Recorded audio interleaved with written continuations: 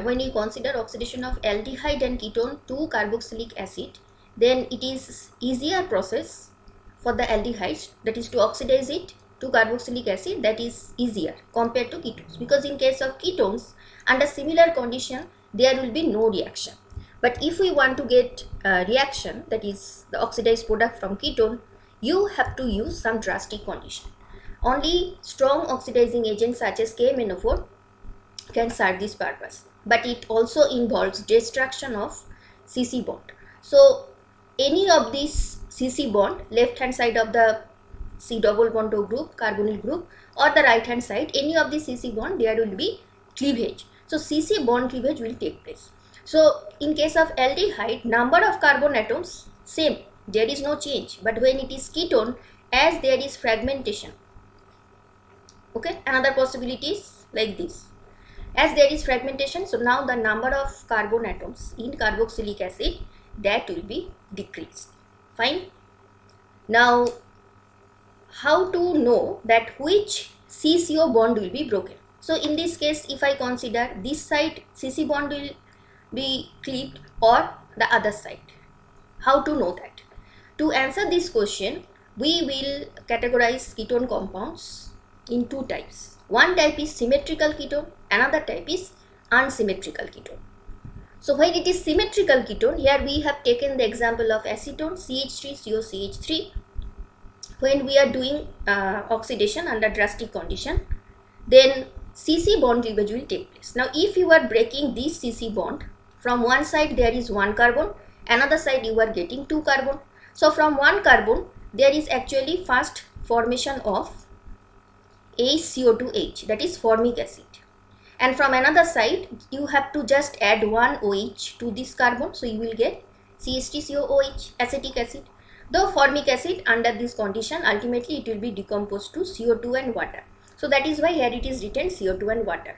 But if you consider the cleavage of the other CC bond basically you are getting the same fragment. Again you are getting one carbon from the right hand side that is methyl and from the other side CH3CO so here we are getting mixture of CH3COOH and formic acid is ultimately decomposed to carbon dioxide and water. Another example of symmetrical ketone, now it is cyclic and total number of carbon 6. Both side it is same. So any of the CC bond you can consider in both cases, whatever uh, CC bond cleavage you consider, in both cases you will be getting same product. Third example for symmetrical ketone, now we have both side two carbons that is both side of carbonyl group. Now if we consider the fragment CH3CH2CO and from the other side it will be CH3CH2. So basically it is 2 carbon and 3 carbon right. So I can write it in this way that is just break the CC bond and write the fragments. Now from these two fragments you have to just add one HO to this carbon and this CH3 CH2 what you will do? This CH2 you have to write as CO2H that means you are getting CH3 CH2 CO2H from the first fragment and from the second fragment you are getting 2 carbon carboxylic acid which is acetic acid. Fine? So these two you will get from these two fragment. And if you consider the other possibility by other possibility I am trying to say if you are considering this CH3 CH2 2 carbon and the other possibility is this is this part is now 3 carbon. Now again you are getting the same fragment. So what whatever is the side you choose you will actually end up with the same type of product that is propanoic acid and acetic acid mixture of these two. Fine. Next is unsymmetrical ketone. So now the example that you are seeing one side we have one carbon and the other side we have two carbon. And here we have numbered these three carbon because now we will see both the possibility. We will break the bond 1 2 and the other possibility 2 3 and we will try to see what type of products we can get. So first we have this 2 3 cc bond cleavage and we are getting ch3co fragment. So from this ch3co fragment you just have to add one oh so what you will get? You will get CH3CO2H and from the other side you just have to convert CH2 group to CO2H so again you will be getting same molecule. So two molecules of acetic acid. But the other possibility if one two bond is broken now when it is one carbon it is formic acid but ultimately it will be decomposed to CO2 and H2 and from the other side you just have to add one OH so you are getting propanoic acid CH3 CH2 COOH now if uh, both these type of that is both side the CC bond cleavage is occurring simultaneously. So what type of products we are getting? We will get two molecules of that is CH3CO2H, two or three that is not important but what are the type of compounds you are getting? You are getting acetic acid molecule, carbon dioxide water and also propanoic acid from this part that is 3 carbon carboxylic acid. But the question is uh, we will get mixture or any of this one possibility will be uh, giving us the products. So suppose this is possibility 1 this is possibility 2 so which of these two will be actually uh, we have to consider? To answer this question there is a particular rule. And this rule is known as Popoff's rule so according to Popoff's rule we can answer this question which is basically the question of today's video which CCO bond will be clipped in the oxidation of unsymmetrical ketone. So according to Popoff's rule, during the oxidation of unsymmetrical ketones, keto group always stays with the smaller alkyl group. Now if that is true, then again have a look in the previous slide with the smaller alkyl group. Now if you consider this unsymmetrical ketone, this is the smaller alkyl group. That means CO that should remain with the methyl group. So this is the bond cleavage that we have to consider that is 2-3 bond cleavage. So this is uh, correct not this one according to this rule.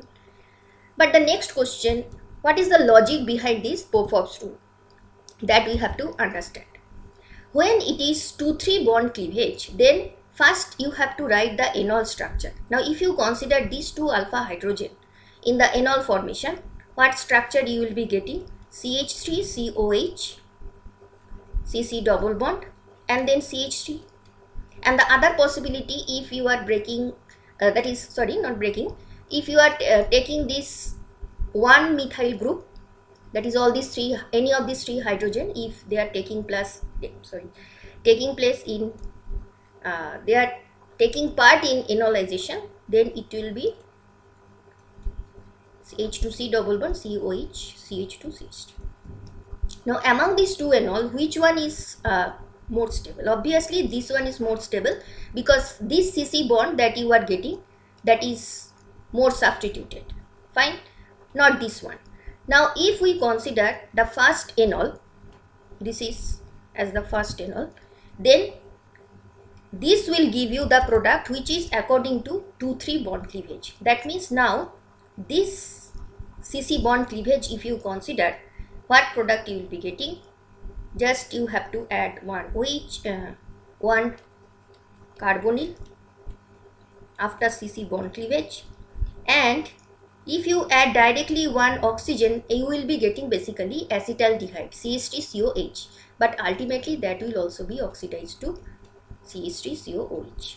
So when it is 2-3 bond cleavage in the previous slide also we have seen when it is 2 3 bond cleavage we are getting two molecules of acetic acid. But if you consider this enol this is actually 1 2 bond uh, cc bond cleavage. And in that case from this side just add one OH so it will be propanoic acid and from the other side it will be you can write formaldehyde but ultimately it will be formic acid that is CO2 and H2 but you don't have to consider the second possibility because we know according to Popoff's rule this is the correct one. And now we also know the logic. The logic is as it is going through enol formation and this enol is more stable. That is enol from 1 that is more stable than 2 so that is why this is the preferred path and as this is the preferred path 2 3 cc bond cleavage will take place now if we really want to know that uh, what how we can write this type of product after cc double bond cleavage then you can consider oxidative cleavage of CC double bond with KMnO4. We know that when we treat alkene with KMnO4 under cold condition, it is dihydroxylation. But if it is hot basic condition, then CC bond cleavage possible and it is known as oxidative cleavage. Now if the alkene is like this, where in the left hand side carbon you can see two uh, substitution and other side you do not have any substitution. So for this type of di substitution you will be getting ketone and when there is no substitution terminal uh, CH2 you will be getting carbon dioxide and water. Then the second example you can see here this part is same just like the previous example again you are getting ketone other side it is mono substitution so for mono substitution you will be getting salt of carboxylic acid.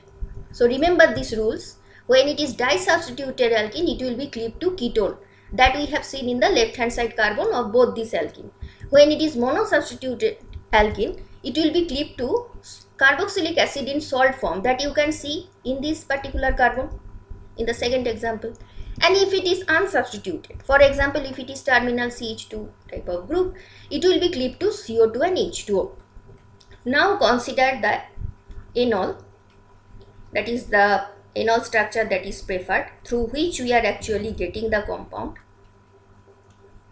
So this molecule now you can consider as if it is left hand side carbon it is disubstituted and for disubstituted what is the rule you will be getting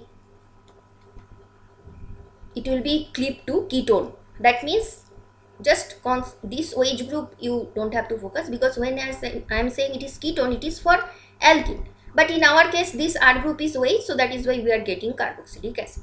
And when it is mono substituted, then from the other part also you will be getting carboxylate, but after acidification, it will be acetic acid. Similarly, you can also consider the other enol structure and you can write the uh, possible product, though I, I will not write that because ultimately this is the enol through which we are getting the product. Okay so i hope uh, this discussion it will be satisfactory of uh, satisfactory to you uh, for the question in today's video that is why uh, in case of that is for unsymmetrical ketone how to know that which cco bond will be broken and please also have a look in the description box where you will find all the important playlist link. Okay? So i will meet you in the next video